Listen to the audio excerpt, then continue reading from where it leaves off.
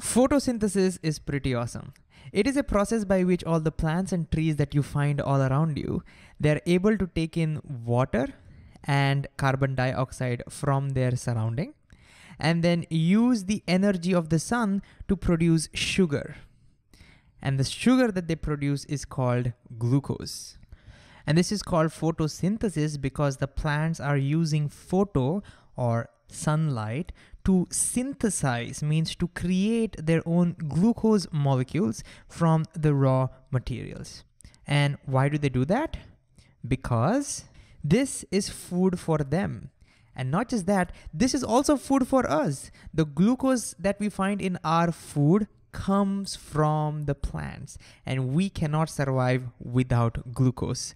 So photosynthesis feeds almost all the living things on this planet, including plants and animals. And there is a bonus. During this process, plants kick out a particular molecule into the atmosphere. Guess which one? Oxygen the same oxygen that we need to breathe. So photosynthesis gives me my food and it gives me oxygen to breathe. That's why I love photosynthesis. But why mostly plants and trees are able to photosynthesize and why not us? Why can't animals do it? What do they have that we don't? And what really happens during photosynthesis? How are they able to take in this carbon dioxide and water and manufacture glucose? What really happens? These are the things that we're gonna try and explore in this video. All right, so why can plants and trees photosynthesize, but what we can't? Why can't animals do it? What do they have in special that we don't? Well, they have something called chlorophyll. What's that? To figure this out, let's clean this up a little bit and let's zoom into one of its leaves. So if we zoom in, we might see a leaf like this. And then if we zoom in even further to look at its cells, this is something that we might see. Let's focus on this. So you can see a lot of green things over here, right? These green things are called chloroplast. And this is where photosynthesis happens. Inside the chloroplast, photosynthesis is happening. But what's more important for us is that inside these chloroplasts, there is a chemical pigment called chlorophyll. So chlorophyll is the name of the pigment present inside these chloroplasts. And it's that pigment that makes these things green in color and in turn makes the entire plants and trees green. It's the chlorophyll that's doing that. But more importantly, chlorophyll has the ability to absorb the energy of the sun and then use that energy to carry out this chemical reaction. So the way I like to think about it is if you look at one of these chloroplasts, it absorbs carbon dioxide and water so here is carbon dioxide and water that enters the chloroplast. And then it absorbs the energy from the sun. This is where the chlorophyll is doing the work. Chlorophyll is absorbing the energy of the sun and then it carries out a chemical reaction, which we'll look at in a, in a, in a while. And then it spits out this juicy glucose molecule. And this glucose is now um, transported to all the parts of the body so they can use it. And then it also gives her oxygen, which is not needed. And so they throw out that oxygen from the leaf.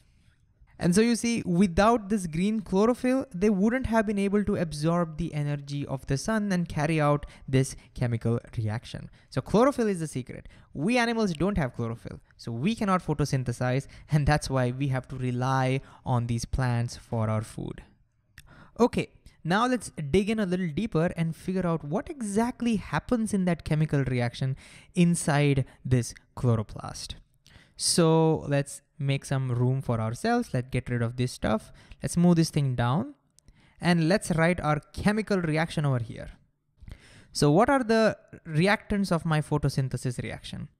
Well, the plants need carbon dioxide, so CO2. They also need water, so plus water, H2O. What else do they need? They also require sunlight. Remember, without the energy from the sun, they cannot carry out photosynthesis. So plus the energy from the sun. And who absorbs that energy from the sun? Let's write that down as well. It's the chlorophyll molecule, right? The chlorophyll absorbs the energy from the sun. And what do we get? By carrying out this reaction, we get glucose. What's the formula for glucose? Well, to write the formula of glucose, I remember that glucose is a carbohydrate.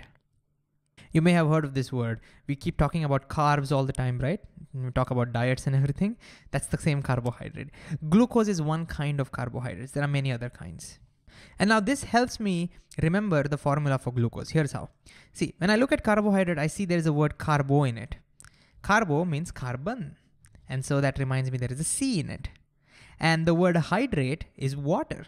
I mean, you might have heard, right? Keep yourself hydrated. Dehydrated means loss of water. So hydrate means water. So water is H2O and that's carbohydrate, okay? But carbohydrates need not just have one atom of carbon and one molecule of water.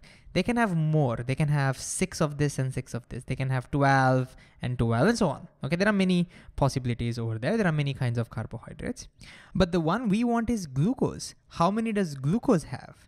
Turns out that glucose has six of each, six carbon and six molecules of water.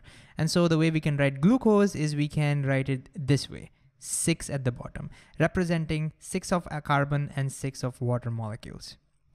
And what else do we get? We get glucose and what else? We also get oxygen, so plus O2. And we'll see why I have written O2 in this particular color, okay? So this is our photosynthesis chemical reaction. Now that we have the reaction, let's get rid of that photo and let's focus more on the reaction. Now, one small thing before we continue is that this equation is not balanced. For example, right side, we can see that there are six carbon atoms. Left hand side, there's only one carbon atom, right? So we need to first balance this equation, okay? Now, you can try this yourself first. So great idea to pause the video and see if you can balance this reaction yourself. Okay, I'll quickly go ahead and balance this. There are six carbon atoms over here, so we need six, so I multiply this by six. Six molecules of water, so I multiply this by six as well. And notice now oxygen is balanced, six here, six here. To balance this oxygen, I multiply this by six as well. And this is a balanced equation. I know this was fast, but we have talked about this in detail in chemistry videos. All right. So if you need more clarity on how to balance equations, great idea to go back and watch chemistry videos. Okay, so what's really going on during this reaction? How is this glucose manufactured? Well, I'll start with how it is not done, okay? When I learned this, I thought what's going on is maybe carbon dioxide is broken into carbon and oxygen, and that's how we get oxygen from plants. I thought plants take carbon dioxide, rip it apart and give us oxygen. And then that carbon is attached to water to give us carbohydrate. Easy, right? That's what I thought photosynthesis was. Unfortunately, that's not how it works, okay? For many, many reasons. One, one of the reason is plants cannot break carbon dioxide. Carbon dioxide is a very, very strong molecule, so they don't break that. And secondly, you cannot manufacture a carbohydrate just by adding carbon to water. That's not how it works. The main reason for that is carbohydrates are not really carbon attached to water. Okay. And what I mean is, let me just show you what glucose looks like. Okay. There are many structures. One of the structures of glucose looks like this. Now I know it looks scary and, and you don't have to remember any of this. Okay. All I'm trying to show you is there is, it's not carbon attached to water. Do you see H2O anywhere? No, right?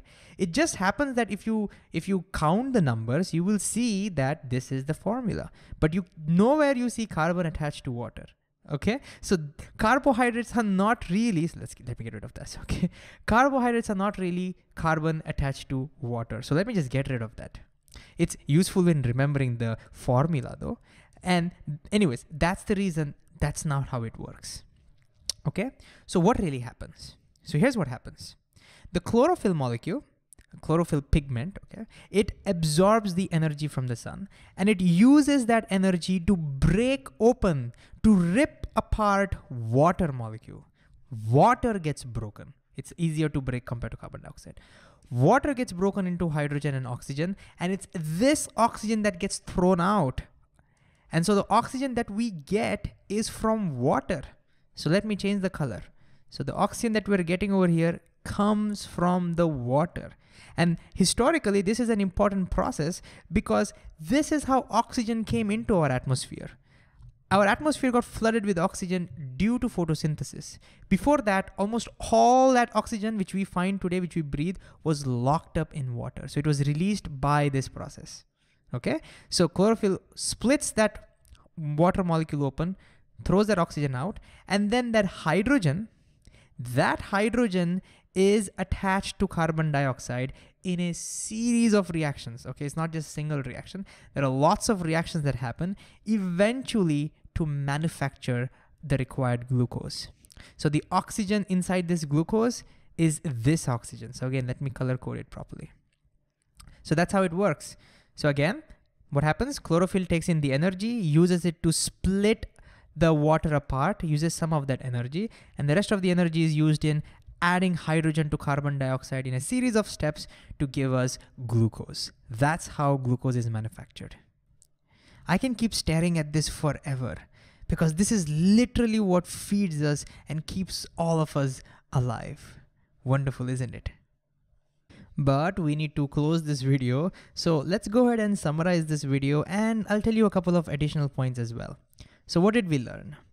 We saw that photosynthesis happens inside these green things called chloroplasts and they're green because they have a pigment called chlorophyll. Chlorophyll makes everything green and they are responsible in using the energy of the sun in carrying out this reaction. Now one small thing over here is what about non-green plants like this house plant in my balcony? They don't have green leaves. Can they carry out photosynthesis? Yes, they can because even they have chlorophyll pigment inside them. They are not green because they have additional other pigments as well because of which it appears to be reddish purplish color. But they do have chlorophyll, even they can photosynthesize, okay? And another thing is I should think that photosynthesis only happens in leaves. Well, most of the photosynthesis happens in leaves, but chlorophyll is also present in the stem, for example. Uh, uh, so any part of the any part of the plant that is exposed to the sun usually will have chlorophyll in it, and even they can photosynthesize. And also turns out that plants aren't the only ones who can photosynthesize. Even some bacteria can also do that because even they have chlorophyll. Anyways, and how does photosynthesis happen? What happens during the reaction? We saw that plants are able to suck in carbon dioxide and water from their surrounding. Then the chlorophyll uses the energy of the sun, harnesses the energy of the sun, and it splits open water into hydrogen and oxygen. Oxygen gets thrown out, and the hydrogen is added to carbon dioxide in multiple steps to finally give us the required glucose molecule.